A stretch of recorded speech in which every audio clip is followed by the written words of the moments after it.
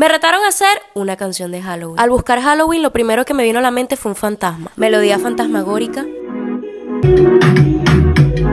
Palabras claves que tengan que ver con el tema. Y escribimos una letra sobre esa persona que te ilusionó y se desapareció como un fantasma. Y así quedó.